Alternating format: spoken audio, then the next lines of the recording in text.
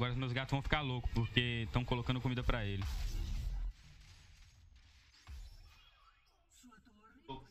Gente do céu! Pra que isso?